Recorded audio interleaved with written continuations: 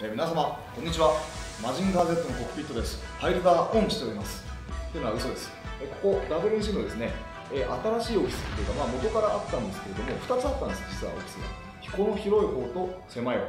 前まで狭い方にいたんですけど、まあ、そこのあのちょっとまああの期限が切れちゃいましてこっちへあの入ることになりましてこっちへやってまいりました。で綺麗になってよかったなっていうですねもう汚さないようにしなきゃねみんなね。うん。まあそんなわけですね今回も、えーロードトゥ新宿フェイス。えーともう新宿フェスが来週の水曜日です。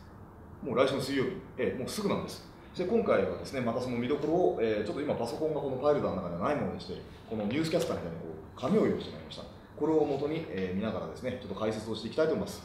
えー今回はですね第0試合があります。第0試合、えー、とこれレスリングドリーマーズのですね颯中里選手あとウルフ智也選手、えーまあ、この3方がですね、えーまあ、言ってみればトライアウトなんですよね、まあ、そしてこのレスリングドリーマーズがあの9月21日新木場大会をもってもう団体が終焉を迎えるということで新たな戦場を求めて、まあ、この颯選手、まあ、僕昔メキシコで2回ほど会ったことがありましてそれでまあ久しぶりに連絡をくれてですねあの知人を通してなんですけれども。でそれでまあちょっとこういう形が決まったんですがで、えー、と相手がですね黒潮二郎洞口義弘村瀬弘樹です。で洞口は久しぶりです。なんで出てなかったか、まあ、特に言いません。分かるでしょうけど、ええ、でまあ言ってみればこいつにとってもトライアウトってですね。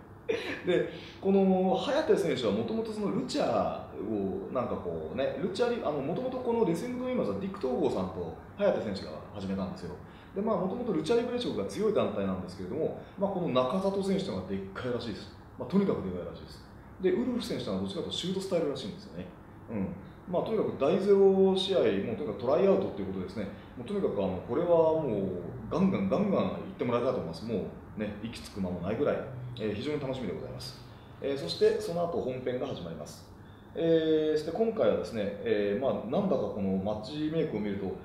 WNC と海援隊道場の全面対抗戦工業みたいな感じがしております。えーえっ、と土井浩二、高橋正也、篠瀬水戸七、ヤンキーライオン対広東内、マリンズマスク、関根隆一、タンク長いっていう4対4です、いきなり。でまあ、これもともと先月ね、土井と高橋が、マシモ選手と稲松選手とこう喧嘩みたいな試合になっちゃって、終わった後てめえこの野郎ってなっちゃって、それがまあこういう因縁を生んだんですけれども、あのこういうのはまあウェルカムですよね、良きことですよね、歓迎しないと。であのやっぱりこの前も言ったかもしれないけど、若いやつらはもそろそろそのライバルが必要ってですね、だこれはどっちが勝つかっていうより、誰があのどんなライバルを見つけられるかっていう、まあ、カップルゲームっていうんですか、古い言葉で言えば。なんかそんなような感じが僕はどっちかとするんだよな。誰が誰とライバルになって認め、お客さんになんかおい一つ抜けたなと思わせることができるか、そんな試合のような気がします。てめえらよ火炎隊道場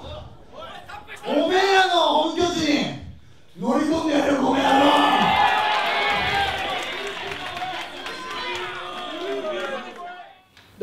であのまあ、ちょっとこの中でヤンキーライオンがいるんですけれども、えーちょっとさっきですね、ついさっき、本当、今帰ってきたの、藤原組長のところに来たんですよ、2人で。でそして、あのライオンがあのこの前のフェイスで、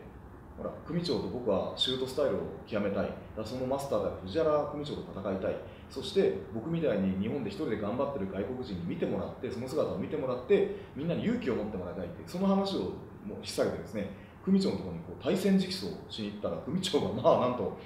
あのまあ、そこまで言うならおめえの本気見せてもらおうじゃないかっつってお前を応援してるやつ100人連れてきてまず署名持ってこい。そしたらやってやる。でその期限がですね10月31日の1週間前10月24日なんですよ。ライオン本当に100人外国人集めなきゃいけなくなっちゃってるねけどやりますって組長前田言ったものの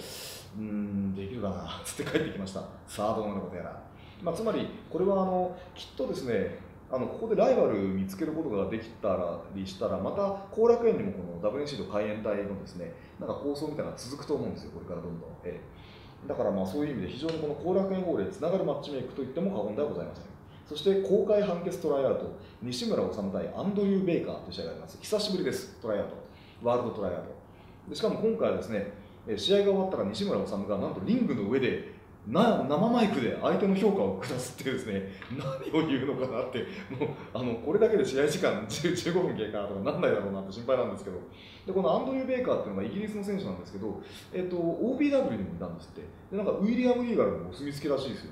あの、まあ、言ってみればリーガルが田尻に送り込んできたのかなっていう嬉しくなっちゃいますよね、うん、でそして私立プロレス学園対私立クズプロ学園全面対抗戦。誠松本美和子小林加穂対紀藤拓也腐ったみかん2人っていうですね学級委員小林加穂さん。はい、えー、保健委員林バイロンさん。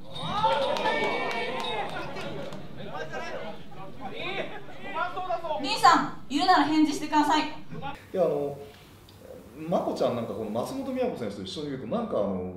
エネルギーが倍になるっていうか、なんか面白くなるような、この2人いると。で、キトタクがですね、まあ、こんなの会社組織の中に自分の学園を作るなんて風紀が乱れるって言って、その風紀を正すために俺も学園作ってやるっていう 逆じゃないかっていう理由で。自分が私立クズプロ学園作りますよねええいやみんなそんなにあありがとうございます作ったんですけども、この木戸この前、なんか来たんですよね、ここに。で、あのなんか変な入学案内みたいなのをクズプロ学園に持ってきて、なんか見たらあの入学金がいくら9万2000円とか書いてあって、で、これでタチさん、大金持ちですよ、俺とか言って喜んで帰ってったんですけど、その後、これ入学した人いんのかな？その入学した人2人がまあ腐ったみかんってことなんでしょうけど、まあ、クズだから腐ったみかんなんでしょうね。うんでそれを引っ提げて人が戦うことになるんですけども、まあ、3対3、本当にこれ入学者がいなかった場合になっちゃうんだろう、これ。うんでそして、えー、田尻対児玉悠介があります。児玉は本当雰囲気変わったねあいつね、うん、そして、あのー、この前傭兵とまあすごい試合してるわけですよ児玉が。あれすごい試合だった本当に。であの正直言ってあれほどの試合俺できるかなっていう多分できちゃうと思うんだけどできんのかなっていうぐらいすごい試合だったの。であの、まあ僕来月この日のメインの明対高道の区の勝者と戦わなきゃいけないわけだから児玉なんかに負けるわけないのは当然いかなくてですねそんなどころじゃなくてもう圧倒的な格の違いを見つけて勝たなくてはいけないんじゃないかなと思ってるんですがけどねなかなかすごいよ今の児玉は。あの悔しいけどこいつはあのシナプスって大正解だったと思います僕は。ええ。うん。でこの試合終わった後何が生まれるかな。うん。そして、えーと、シングルマッチエルヨデル・パンテラ対正田さんがあります。あえてまた正田さんと言います。あの前回はパンテーラが血だるまにされてですね、えー、パンテーラがフォール負けしたんだなこれ。でこれなんか完全にこの荒亀彦とかでこうね髪切りマスカーギやるような流れそのものだよこれ。で今回またこれどっちかから受けすんじゃねえかなこういう流れっていうのは。うん。まあけどねこれどっちが勝っても絶対あの普通に終わらないと思うんですよ。ってことは後楽園でまあこれこれの決着戦まで持ってった方がこれいいと思うねここまで来たら俺は。うん。でそういう試合も最近日本であまり行われてないから俺自体見たいね。でそういう試合を日本でやってるのにメキシコのあの血生臭い砂の混じったような匂いあれをね増田さんは醸し出せるような気がするんだよ俺は、うん、え？あ違った。ななんかすごい音がしたんで。バーンと音したの？なんだろう？大丈夫かな？で、えーと、そしてですね、えー、WNC ウーマンズチャンピオンシップでセリーナ対シュリがあります、えーえーと、これ、鹿児島で、まあ、これセリーナが首里に勝ってベルトを巻いたんですけれども、まあ、まあ、互角だったんですよね、結構実は。うんでそしてそうそうあのこのフェイス大会からその鹿児島大会の DVD も発売されますんで買ってくださいであのまあこれ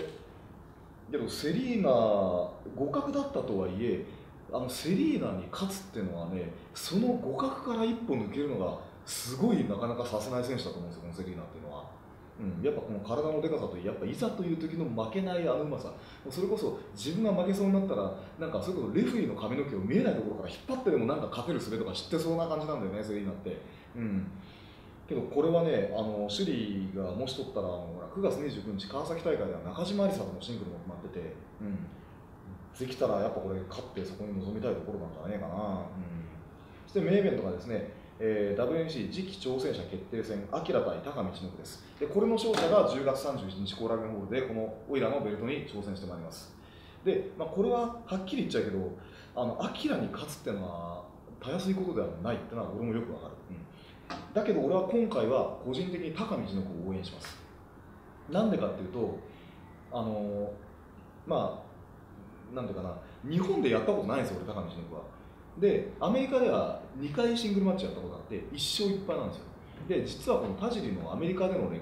輝ける歴史はですね高道の国に負けるところからそういう屈辱から始まってるんですよ。で別に今更その借りを返したいとかじゃないんだけれどもなんかねもうそれが12年前の話だよな。でそして実はですね今日は何日 ?13 日か。2日前9月11日何の日か覚えてますねテロの日です、うん、あのアメリカの。であの日俺タカさんと2人でテキサスにいたんですよ。ヒューストンにスマックローの収録で。そしたらテロが起きてこうその日のショーの中止になってで飛行機にも乗れない空港閉鎖されてるから。で2人でずっと一緒にいたんですよ。で2人でけど意外とヒューストンは平和なわけ。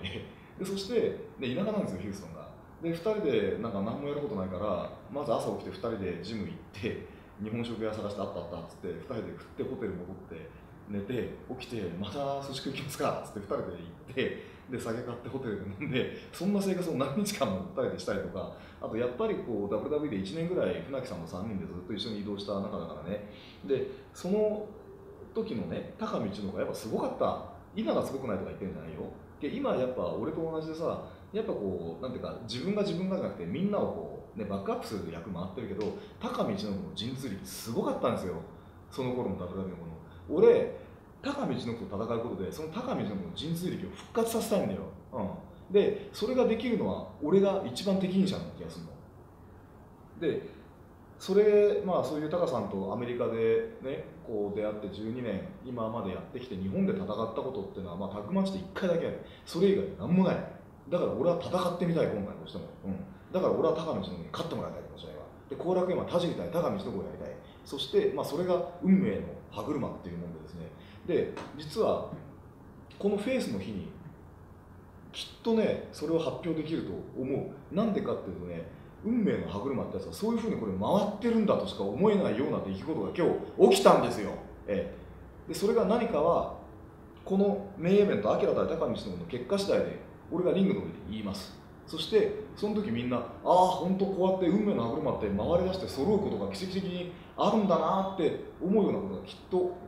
できるんじゃないかなっていう気が俺はそういう奇跡っていうのは起きるんじゃないかなっていう気がしております。でそんな感じの新宿フェス大会です。でそしてですね、えー、ともうこれ先月から発売になってるんですけれどもこっちがあのなんと旗揚げシリーズ旗揚げ第2戦大阪ムーボンアリーナで行われたですね DVD です、えー、田尻マイキー対児玉洋平のハードバーマッチとかですね名イベントはなんデーブ・フィンレイがゼウスとシングルマッチカナ対誠なんていうのもあります。大原はじめもあります。入ってます。でこっちがあの伊佐温泉大会です、えーメインが藤波さん対レザーフェイスです。で田尻山川対児玉洋平なんてのもありましてですね大原はじめ対アキラなんてあれよ、うん、でこんな DVD も発売されてます。であの売店をですねちょっと覗いてみてください。あとあの WNC オフィシャルウェブサイトの通販コーナーも見てください。いろんなもの売ってます。でさっきも言いましたように、えーこのフェイス大会より鹿児島大会の DVD 発売になりますので、えーまあ、そんな感じで,、えー、ともうで実はですね今からあの兵庫県に行くんですよ私。あの傭兵のこうあの田舎の。ででもうねすごいお客さんがいるらしいんで新宿フェイスにも負けないようにはい、たくさんのお客さんに来ていただいて、そのまま後楽園ホールへレッツゴーしたいと思います。じゃあ僕は今からですね、マジンガー Z ファイターで想像してですね、ちょっとあの、アシュラダンシャーで倒していと思います。今だ。ブレストファイヤー